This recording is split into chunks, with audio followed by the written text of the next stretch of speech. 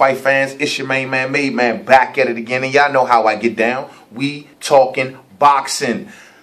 There is a man in the sport of boxing, ladies and gentlemen, that I have tremendous, I repeat, tremendous respect for. No ifs, ands, or buts about it. Ever since roughly 2004, I have been keeping my eyes on the boxer, the fighter, the warrior known as Miguel Cotto, ladies and gentlemen, the Puerto Rican sensation. Hands down, a warrior, possible Hall of Fame, what, first Puerto Rican fighter to uh, win, what, four titles in four different divisions or something of that nature, whatever.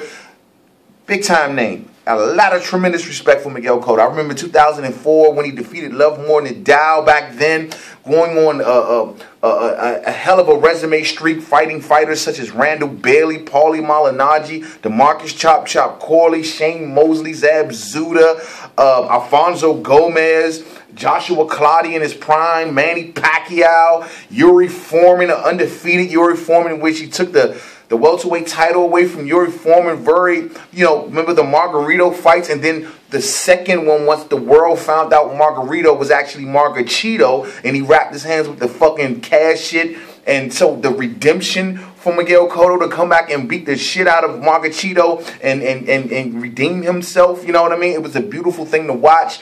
Um, you know, he even once went up against Floyd Mayweather, Austin Trout. Even though he lost those fights, he's jumped in the ring with those guys. Those were two hot fighters at that time, also. So Miguel Cotto is always, I repeat, always been a warrior. Never ran away from shit, man. So when we get to this fight that was supposed to have been scheduled between Miguel Cotto and Saul Canelo Alvarez, and we hear that this fight breaks down for really no major reason given, other than the fact that we hear from Bob Arum that Miguel Cotto was what offended or something shit uh, from uh, Saul Canelo Alvarez sending letters to Puerto Rican newspapers trying to get this fight and calling out Cotto, and that's not how you get a fight with Cotto. What the fuck does Cotto think he is? You know, that's how, that's how any fighter gets a fight. They they call you out in the public. You know what I mean? That's how it goes. But anyway, um, and it seems as if this fight has been now officially off as if uh, Golden Boy and uh, Saul Canelo Alvarez is looking to pivot and try to get a fight with James Kirkland, and they're hopefully trying to get that May second date. But I still don't think they'll get it. But anyway, uh, they're they're trying to get a fight with James Kirkland. They pivot away from Miguel Cotto, given that Miguel Cotto has been holding out all of this time. Now we know Saul Canelo Alvarez said he'll give up the house if you know anything about Saul Canelo Alvarez, you know he is a prideful fighter, which is he's seeming like he wants to fight the best names out there. Fuck all the stipulations and all the bullshit negotiations. He's willing to give up the house to Miguel Cotto. Give him anything he wants. You want the ring, you can have the ring. The location, you come out first. You choose the gloves. You get the bigger cut. Whatever the fuck. Even though I think personally Miguel uh, Saul Canelo Alvarez fan base is bigger than Cotto's, but Cotto is roughly about the third what pay per view rated guy. You know what I mean? So the fact still remains is that he was a side. So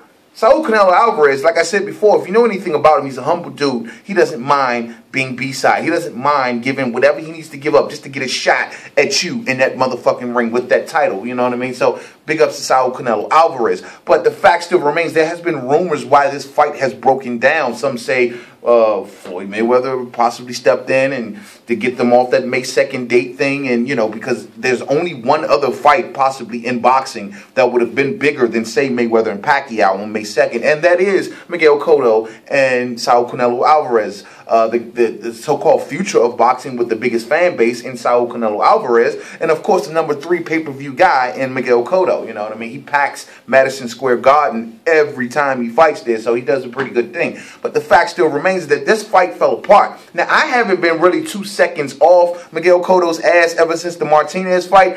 I I have you know I'm a big time Sergio Martinez fan. There's not, and I do this show non fucking biased, ladies and gentlemen. So I try not to get too involved in that. But you know, when he did the Sergio Martinez, handicapping him through the negotiations, all the bullshit, uh, um, you know, propositions that was made for Miguel Cotto in, in order for him to, uh, to, take the fight with Martinez, you know, all the bullshit that went down with that fight really put a bad taste in my mouth for fucking Miguel Cotto. Now, prior to that, given the Delvin Rodriguez fight, he, he needed that fight because he was coming off two back-to-back losses to Mayweather as well as Austin Trout. Now, even back then, Miguel Cotto was pondering retirement. You know what I mean? He's 34 years of old, years of age now. These fights occurred in 2012. So what? He was roughly 31, maybe 32. So he was really willing to retire then at a young age. You know what I mean? After the defeat to Sergio, I mean after the, the, the defeat to uh, Austin Trout. So then he goes along and get the two gimme fights, uh, the, the the Rodriguez fight, which most predicted him to win, and then turn around and get the,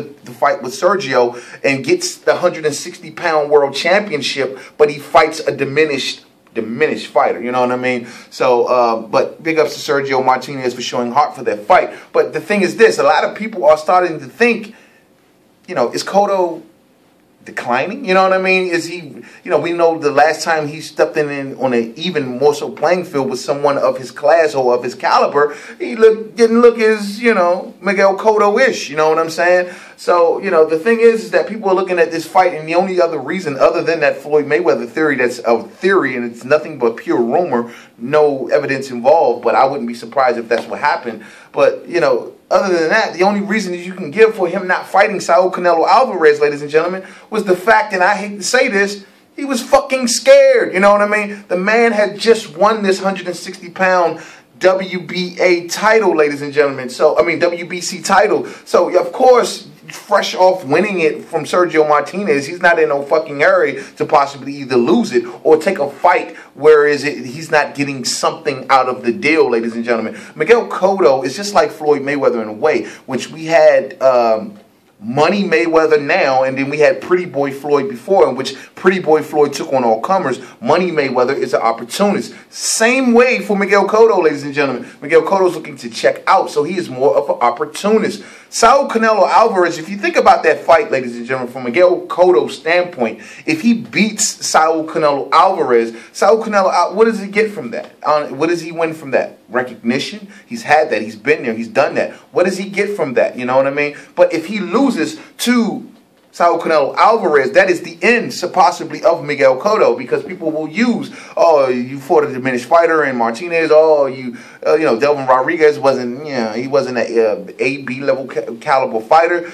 The last two good fighters you fought, you lost to, so now you get in here with Canelo and you lose to him. That could be the end, possibly, honestly, of Miguel Cotto, ladies and gentlemen. So, at least as a, a, an elite premier fighter, you know, not to say anything about what he's done before this point. Like I said, he's, a, he's to me, he's Hall of Fame worthy, possibly. So, you know, but the fact still remains, people will say that this is possibly the end of Miguel Cotto because he's been avoiding top level contenders uh, on an even playing field for quite some time, you know what I mean? Roughly since, like I said, 2012. So now, you know, I also bring up the fact that um, I look at it and I say to myself, Cotto, easy, he must be looking for an easy fight because we haven't heard him even remotely whisper the letters G, G, G.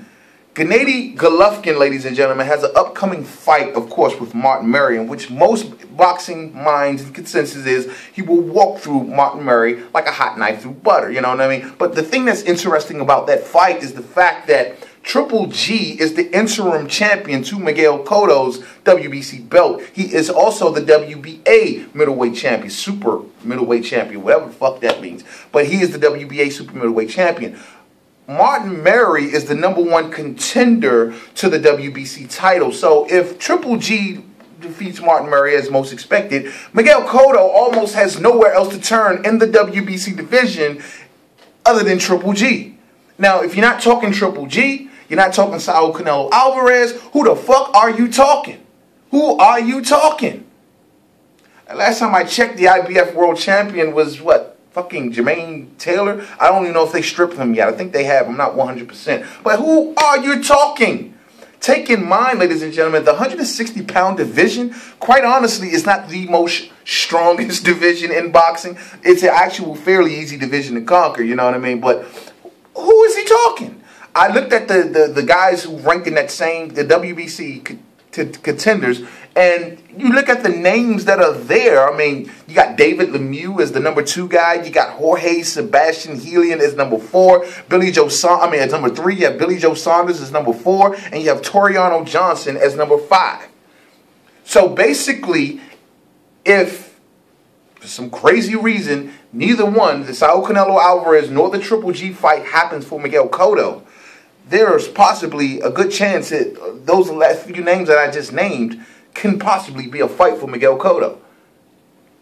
I don't know what he gets out of it other than the fact he does retain his title. He goes on to have bigger fights and he stays relevant. But the fact remains, you know, no one wants to see it. And Cotto will be ridiculed very heavily if he ducks Saul Canelo Alvarez and does not take a fight with Triple G. We know Peter Quillin has an upcoming fight with Andy Lee, ladies and gentlemen. So those are two top names at the, at the 160 division, but they're tied up. So who are we talking here? Who are we talking? Remind me again. Who are we talking? you know what I mean? Uh, Daniel Jacobs. Daniel Jacobs is the WBA interim champion as well, or is he the WBA champion? I don't know how the thing works. But the fact is, he's another name, and he's waiting in the wings. I would love for them to announce a Cotto, you know, Daniel Jacobs. However, you know, I don't think Daniel Jacobs he's even ranked at all by the WBC. So I don't know how that works. But the fact still remains: those are those are the only fights possibly at 160. If it ain't Daniel Jacobs, if it ain't Peter Quillin, Andy Lee, um, maybe Korobov, I don't know, but uh, uh, Triple G. Saul Canelo Alvarez, these are the premier guys at 160. Those are the only names that can be mixed around with Miguel Cotto. Now, Miguel Cotto, some say he's not a true 160 guy, which is true possibly. You notice he wanted to fight Saul when they were discussing it at a catch weight. But the thing is this, you know, if you're a fucking 160 champ, you fighting 160 pound fighters, man. Fuck all this catch weight shit. You know what I mean? Maybe though other guys at 160 that's not fighting Cotto at a fucking catch weight. You know what I mean? I don't know. But the fact still remains was more important than anything, if you're not talking Saul Canelo Alvarez, Cotto, you better be talking Triple G. Bottom fucking line. Because anybody outside of those two, Quillin, Lee, they're fighting each other. Daniel Jacobs, those are the only other possibilities, ladies and gentlemen. Those are the only other possibilities. They're semi-popular fighters as well. So those are the only possibilities. If if Cotto does not take a premier fight of those caliber in his next fight, ladies and gentlemen, we have an obligation as boxing fans to call out Miguel Cotto for being a fucking coward. Bottom line, you know what I mean? And I don't mean to say that lightly because talking like that about Miguel Cotto is not something I, I, I, I'm happy to do. You know what I mean? I'm not, I really ain't. But it's no other fucking word for it. Opportunist, maybe, but cowardice is the only one that really comes to mind. Triple G is right there, ladies and gentlemen. After this Martin Murray fight, the heat is going to be turned up on Miguel Cotto. To the next video, it's your main man, Made Man. I see y'all then. Don't forget to subscribe. I'm on Twitter at Made Man 511. Let's see what how I go.